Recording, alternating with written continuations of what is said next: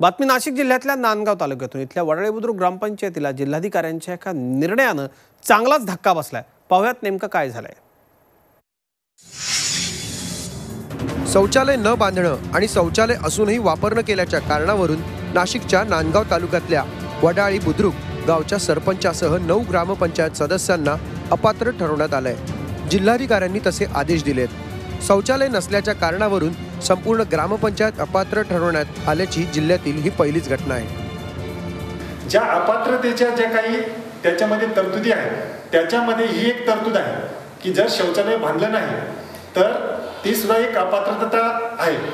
म्हणून या कलमाखाली मान्य जिल्हाधिकारी नाशिक यांनी सर्वच्या सर्व नऊ सदस्यांना अपात्र घोषित केले आणि तसा निकाल आमच्याकडे काल प्राप्त झालेला. दोन वर्ष उलटूनही गेले. तरी यांचे शौचालय बांधलेले नव्हते. यांना टायमा टायमावर सूचनाही दिलेल्या गेल्या होत्या. तरी पण यांचे शौचालय क्लिअर नव्हते. नंतर आम्ही ग्रामसेवकला भेटून पूर्ण माहिती काढून त्यांच्याकडनं ती माहिती घेऊन ते प्रकरण दाखल केलं मालेगावला. मालेगावला दाखल केल्यानंतर आम्हाला चार महिन्यानंतर त्याचा निकाल लागला. तर शौचालय पूर्ण केले होते मात्र आपल्याला बाजू मांडण्याची संधी न मिळाल्याने आमच्या विरोधात निर्णय गेला. मात्र निर्णयाच्या विरोधात विभागीय आयुक्तांकडे दाद मागणार असल्याची प्रतिक्रिया अपात्र सदस्यांनी दिली आहे. दोन तीन महिने आम्ही तारखा मारल्या मालेगाव त्याचे काही तीन महिने तारीख संपली तुमची आता. येऊ नका. त्याच्यानंतर तीन चार महिने गेले असतील. त्याच्यानंतर ही नोटीस आम्हाला पाठवली. कसली नोटीस पाठवली? अपात्रतेची कशाबद्दल? का अपात्र ठरवण्यात आलं तुम्हाला? शौचालयावर.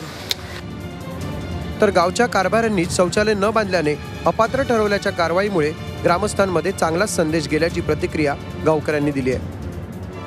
चांगला संदेश दिलेला आहे. यांना निवडणुकीच्या अगोदरच सांगितलेले होते संडास बांधायला. पण यांनी एकही नंबरने नऊ सदस्यांनी संडास वगैरे काही बांधले गेले नाही यांच्याकडून.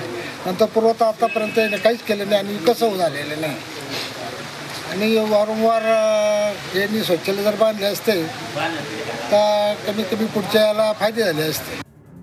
जिल्हाधिकाऱ्यांच्या निर्णयाचा ग्रामपंचायत सदस्यांनी चांगलाच धसका घेतला असून शौचालय न बांधल्यास कारवाई होते असा संदेश पोचलाय.